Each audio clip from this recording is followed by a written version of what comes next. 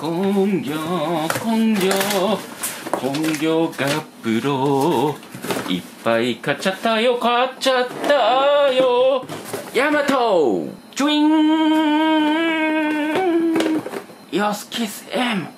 薬はやっていません。精神病でもありません。お酒も飲んでいません。普段こんなテンションで撮影しているんですが音声をあえてカットしているので皆さんには聞こえていないだけ。これが本当の吉田です。ガジェット系 YouTuber の特徴はやたらカメラを買うところ。ブーム系ではカズチャンネル瀬戸康史ジェット大輔。そこら辺が有名かな。当然吉田もめっちゃ買っていたりするんですが需要が全くなくて再生されないのであんまり紹介することはありません。今回はね、ふるさと納税でキヤノンのミラーレス一眼、EOS Kiss M を無料でもらっちゃったので、これだったら動画にしてもいけるんじゃないか、ということで紹介したいと思います。ふるさと納税で一眼がもらえるとかやみすぎるよね。これはちゃんとふるさと納税ですよ。ふるさと納税でカメラもらってるんです。ふるさと納税って噛み砕いて言えば本来なら自分が住む市町村に納めるべき税金の一部を好きな市町村に納められるそういった制度です。ふるさと納税って名前ですが別に生まれ育った場所じゃなくてもよくて好きなところでも OK まあそういう意味不明な制度なんですが特に批判されているポイントとしてはそのお返しとして肉とか刺身とかジュースとかいろいろもらえるんですよね。今回はそのお返しにカメラがもらえたという闇ですね。もう一回言いますけど事実上このカメラはほぼ無料です。ただで一眼レフじゃなくて一眼ミラーレスカメラがもらえちゃいます。それがふるさと納税の闇です。入っていた紙にも書いてありますが過去ふるさと納税で提供された商品券や電子機器宝石品等を中心にインターネット販売等を介し販売転売されている事実が確認されマスコミ報道された経緯がございます。ふるさと納税制度の本来の趣旨から当該商品の転売についてはお控えいただくことをお願い申し上げます。このふるさと納税はかなりグレーゾーンだと思います。だから市側もこんな意味のわからない紙を添付してるわけ。換金できるのは本当はダメなはずなんですが一応カメラを作ってる工場がこの市にあるのでこれが一応認められている。そういうことです。しかもびっくりしたのがこれヤマダ電機から送られてきたんですよね。過去に何回も家電のふるさと納税もらっていますが全部メーカーから直接送らってきました。紙にも書いてありましたが市がヤマダ電機から購入してそれを送ってるらしい。それってありなのって思いますがまあもらってる側だから別にどうでもいいけどね。吉田はふるさと納税の恩恵を受けている人間なのでこういうことはあまり言いたくはないんだけどこのふるさと納税制度にはさらに闇があります。楽天市場で普通の買い物みたいにふるさと納税ができるんですがビビるのが楽天ポイントがつくんですよね。しかも楽天が定期的に実施しているポイントアップマラソンの対象でもあります。25万円もするから3万円くらいの楽天ポイントがもらえました。カメラも無料。3万円の楽天ポイントも無料でもらえます。闇すぎるでしょう。本体標準ズームレンズバッテリー、え充電器。直接だね。あとはストラップ使わないけど。ヤマダ電機から送られてきた商品なので一般のものと全く一緒です。ちゃんと保証書にヤマダ電機のハンコも押してあるので1年保証も効きます。まあ、吉田はふるさと納税賛成派というかもっとやれと思っているのでふるさと納税の闇はこのくらいにしておきます。この先はカメラの簡易レビュー。この EOSKISM エントリー向けのミラーレスカメラでレンズキットで8万円くらいかな。非常に人気の商品。いつも売れ筋上位にあるやつだね。実は前々からこれ欲しかったんですご覧の通りめっちゃ小さいですよねそれはでかい方が画質はいいに決まっています。より綺麗に映ります。でもめんどくさくて使わなくなります。皆さんに言いたいのはカメラは小さい方が絶対にいい。吉田はキヤノンのフルサイズミラーレス EOS-R も持ってはいますが全く使っていません。こんなの旅行先に持っていきますか？無理でしょ？そういうことです。センサーのサイズは APS-C です。下のカメラはマイクロフォーサーズ規格のパナソニックの一眼カメラですが、それより一回り大きいセンサーを積んでますね。フルサイズと比べると4分の1くらいのセンサーサイズですね。もちろんでかい方が画質はいいんですが、レンズが巨大になります。なので個人的にはマイクロフォーサーズや APS-C が実用的なサイズだと思ってます。最近はセンサーの性能が上がったんで小さくても画質はいいです。小さいは正義。エントリー向けのイオスキスブランドなのでボタン類は最小限です。難しいことはせずにオートで使いましょう。そういうコンセプトだと思います。ダイヤルが1個しかないんでカメラガチ勢には向いていないかもしれないこれのいいところは電源スイッチが右側にあります頭おかしいんじゃねえかってずっと思ってんだけどキヤノンの上位機種はなぜか左側にあって使いにくいんですよねこれは右手だけで電源を操作できますこれも特徴の一つ。他社のエントリー向けモデルだとファインダーがついてないものも多いですがこいつは一眼レフスタイルなのでファインダーあります。上位機種に比べるとサイズが小さいですがそれでもあるだけで全然違う。外で使うと液晶が全然見えないんですよね。こいつちっこいですがグリップはちゃんとしているので持ち心地は良いです。キャノンのカメラ全般に言えますがホールド感は全部いいよね。手の形状にもよると思いますけどソニーとか微妙に持ちにくいです。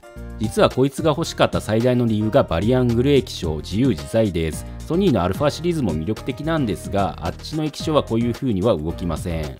バリアングル液晶は中途半端な位置でも使えます。カメラの横に座って物撮りするときにすげえ便利。吉田的にはバリアングル液晶以外のカメラは使いたくない。マイク端子あります。吉田はたまにピンマイクをつなげてパソコンの動作音を収録したりするので、マイク端子はあるとありがたいです。もちろん上の部分に外付けの高音質マイクをつけて動画を撮るのもいいとは思います。まあ、欠点もあって電池が小さいのが少し欠点だと思います。多分小型軽量を優先しているので、コンデジより一回り大きいくらいの電池。動画撮ってるとすぐなくなりそうかな。予備電池は欲しいところ。SD カードはバッテリーと同じところに入ります。個人的には SD カードってたまに壊れるので、スロットが2個欲しいんですが、エントリー向けだからしょうがないかな。付属のレンズは 15mm、45mm、F3.5、6.3です。EFM マウントのレンズは基本的に低コスト小型優先設計です。安いレンズしかありません。標準ズームこれしかないですからね。マウントがプラスチックなのは久しぶりに見ました。超しょぼいですがめっちゃ軽い。キャノンなのでフードは別売りです。まあ安物レンズだけど、この小さいボディには合っていると思います。これに F2.8 の標準ズームつけるとか、なんか違うでしょ？小さくてなんぼだと思います。ちなみにですが、沈胴式レンズです。使用する前に少し回転させてレンズを飛び出させないと使えません。ちょっとめんどくさいですが、その代わり収納時がコンパクトという仕様です。様子 M シリーズはとにかく小ささを優先している印象。まあキャノンのミラーレスカメラです。写真は普通に綺麗に撮れます。今更画質がどうのこうの言うつもりはない。ただレスポンスがちょっと悪いですね。シャッター切ってプレビューが表示されるまでにワンテンポ待ちます。これは上位の様子 R でも同様ですが、ストレス溜まる部分なんで、キャノンさんもうちょい頑張ってほしい。AF はデュアルピクセル CMOS AF 搭載、いわゆる位相差 AF 搭載なので特に不満はないかな。あと一眼レフカメラと違ってエントリー機ですが画面端っこまで AF ポイントがあるのがミラーレスのいいところ。メニュー画面はエントリー機だなって感じる部分ですね。わかりやすさ優先って感じで使いやすくはないと思う。ただし、設定を変えるとキャノンの普通の設定画面に変えることも可能。簡単モードと普通モード。キャノンの一眼全般に言えることですが、動画機能はしょぼいです。あまり設定できる項目はないです。特に気に食わないのは設定用のクリクリ、シャッターボタンにダイヤルついてますが、動画のマニュアルモードだとシャッタースピードに割り当てられています。これを変える設定が見当たらないんですよね。吉田は60分の1固定、絞りは開放にしたいので、露出補正に割り当てできると嬉しいんですけどね。そこはタッチ操作みたい。あともう一つ気に食わないのは録画開始しても何も音が鳴りません。パナソニックのミラーレスカメラだとピコって音がするんですが、こいつは何も音が鳴らない。録画開始したか分かりにくいです。設定でなんとかできるようにしてほしいんですが、EOSR もできません。キャノンのミラーレスカメラの動画機能はかゆいところに手が届かない iPhone みたいな印象です。パナソニックは逆に Android っぽくて色々できる。電池がない。まあこんなこともあろうかとパチモン充電器とパチモン電池のセットを買っておきました。電池2個と USB 充電器で2000円くらいかな。吉田は電池のパチモンは基本的に買わない主義ですが、純正があまりにもぼったくり価格すぎて買えませんでした。この小さいバッテリーで6000円はさすがにぼったくりじゃねキャノンさん。で、このパチモンは多分電話法に違反している違法な商品な気がします。PSE マーク書いてありますが、輸入事業者名が書いてありません。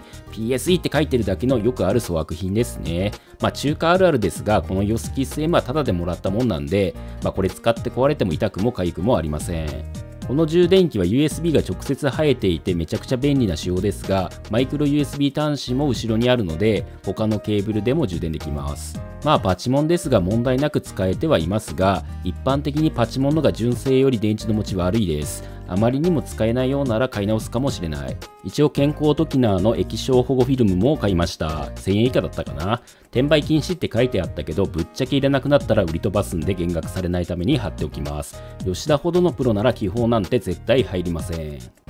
小さいカメラの問題点はクイックリリースプレートが使えないところです。三脚につけるためのアダプターですね。吉田はマンフロットの 200PL というプレートを使ってます。結構みんな使っている定番のやつですね。当然問題なくつきますよ。でも電池の蓋が開きません。例えばアルカスイスのプレートだと小さいものもあるんですが吉田家は全部マンフロットで統一しているので今更変えるってのはない。こういうリグを組むためのプレートも買ってみたんですがちょっとでかすぎました。吉田が探した限り一番小さいのがこれだったんですがかなり残念な感じになってます。視聴者の皆さんの中で 200PL を EOSKISM につける方法をご存知の方がいたら教えてください。まあこれでも使えなくはないんだけどね。これはふるさと納税ではなく自腹で買ったものですが EOSKISM 用の超広角ズームレンズも買いました。これめっちゃ評判がいいレンズです。EOS-M シリーズのレンズは全部安いのも魅力。超広角ズームって値段がクソ高いことが多いんですが、これは3万円台で買えてしまいます。すごいでしょ？う安いだけではなくめっちゃ小さいです。ヨス M ってガチ勢には人気なさそうだけど、吉田みたいなライトユーザーには結構向いてるカメラだと思います。ヨス M のレンズは太さが全て共通なのも特徴。長さは標準ズームより少し長いです。あと金属マウントでした。キャノンって日本製が多いんですが、これはメイドイン台湾。焦点距離は1122なので 35mm 版換算で 1835mm です。部屋撮りとか YouTuber の自撮りにはちょうどいい価格だと思います。このレンズをメインに使うのでレンズ保護フィルターも買いました。ケンコートキナーの一番安いやつ。1000円くらい。このレンズが使いたかったのも EOSKISS-M が欲しかった理由の一つでもあります。実はこのレンズ手ブレ補正がついてます。今メインに使っているパナソニックの GH5S は手ブレ補正が全くなくて手持ちの動画撮影が無理です。特にサブチャンネルの料理動画とかは手持ち撮影できないと厳しいのでサブチャンネル用動画カメラとしても使う予定です。あとは2020年は旅にでも出かけようかなと思ってるんでその旅カメラ用にも使いたい。小さいからね。ちなみにこのレンズも沈胴式です。ちょっと回さないと撮影できませんが、やっぱり不便だね。あと気になるポイントとしては、ズームの回転方向がパナソニックと逆です。右に回すとズームしますが、パナソニックは左なんですよね。ちょっと違和感あります。これでこれぐらいでピントが合うんだなこのレンズめっちゃ寄れます。物撮りにも向いてますね。いつもこうやって撮ってます。机にかなり近づけてはいますが、18mm 相当なのでかなり広く映ります。便利。これが実際に撮影した映像。電子手ブレ補正はオフにしています。周辺は結構歪んでいますが、まあそれはしょうがないですね。オートでほぼ初期設定で撮影していますが、これまで撮影してきたパナソニックの GH5S とは色味が全く違います。コントラストが高めで派手めな印象。無加工です。撮影時に露出補正をプラス3分の2していますが、うん、ちょっとなんか不自然な色ではある。ちなみにこれが GH5S パナソニックの方の映像ですが、個人的にはこっちの方が好みの色。画質も GH5S の方がいいです。まあレンズのグレードが違うけどね。電子手ブレ補正オフでレンズ内手ブレ補正のみで撮影してみました。まあまあ手ブレ補正は効いていると思います。手ブレ補正が全くない GH5S よりはだいぶマシ。APS-C の割には好感度弱い気もしますが、まあ許容範囲かな。キャノンさんは自社開発のセンサー捨ててソニー製を採用してほしい。やっぱり好感度弱いです。黒が潰れる傾向があります。あと動画撮影時の AF はあまり速くはないと思います。最近のカメラとしては性能悪いと思うよ。位相差 AF にしては遅くねって思ったりしますが、AF が暴れると気持ち悪くなるから、わざとこういうチューニングしてるんでしょうか。あとたまに大きくピントを外します。めっちゃ外すと全然戻ってこない。これはちょっと気になるかな。自撮りとかなら問題ないと思うけど、吉田みたいに別撮りしてるとイラッとするかも。もちろん追尾とかにはしていません。中央付近の AF ポイントを設定しています。極端に合わなくなった場合はシャッターボタン半押しすれば一応一瞬で合います。まあキャノンはね動画撮影性能については微妙なところもあるんですけどまあ普通には使えるかな。手ブレ補正もまあまあ効くので全く手ブレ補正がない GH5S よりは手持ち撮影に向いていると思います。軽いので手がプルプルもしません。問題としては三脚問題。これをいい具合に解決する方法が今のところ見つかっていない。アイディアをコメント欄で募集中。よろしくどうぞ。